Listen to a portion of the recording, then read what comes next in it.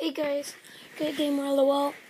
Another um video about the Legend of Korra. Um, this time I'm doing a little something different, something that might change about what I did about, about Amon's theory. Now we're gonna go make two um uh, Amon the last episode of this season I'm not sure if there's going to be another season, but the last episode of this season, um, which is called Amon's Endgame. These are some very possible predictions because these are the only ways they can get out since we saw the um the trailer. It's pretty obvious now. Okay, first of all, I saw a lot of videos about trailers, and everyone is saying that she will go to the Avatar state. Okay, there are two things that I don't agree with. One, that is really obvious. So, you guys, I'm I'm not sure this happens all the time, but I know that mostly nothing um in shows or whatever, nothing very obvious happens as the solution. They always change it up.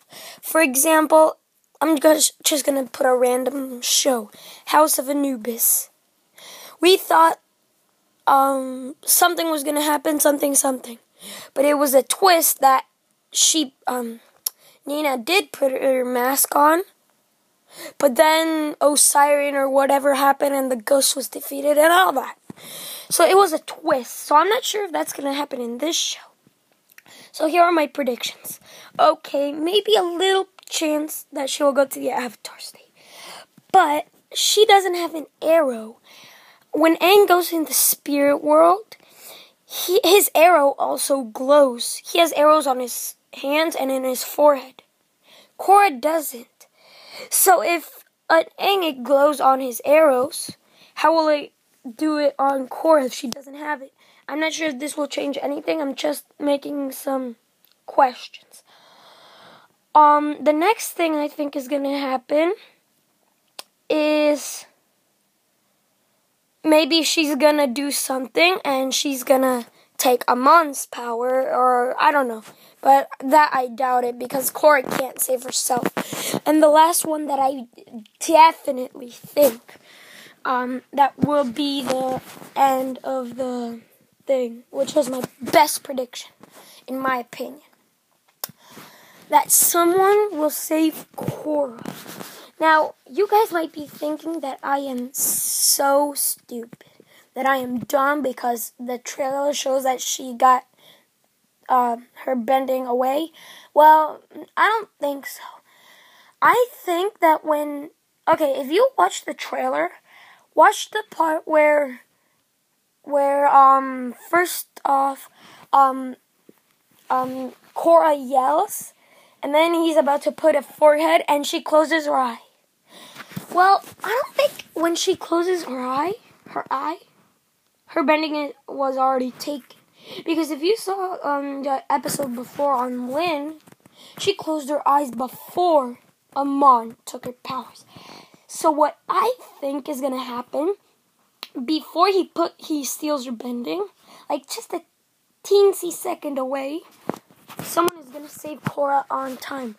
Maybe Tenzin, because it, um I think what's gonna happen. See, if you guys see the trailer or the entire trailer, watch the part when the guy who's explaining the episode is like, the guy is like, now Korra will face Amon. When you see that part, when he, when you see when the part of the video when he says Korra will face Amon, you see that Amon is turning his head. So I think that maybe maybe this is gonna be the the twist. I think maybe all ben- benders are gonna face Amon in that end.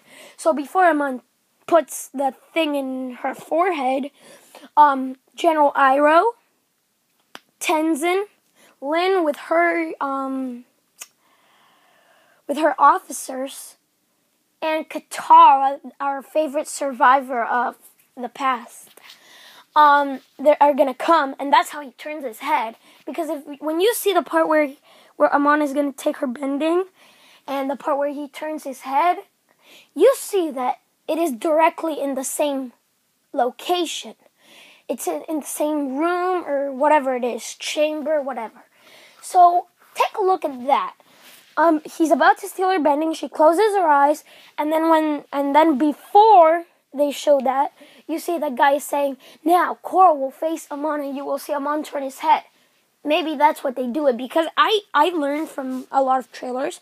They scramble the events up. They do it end, then middle, then end, then beginning. So take a look at that. Really, take a look. That is my analysis. So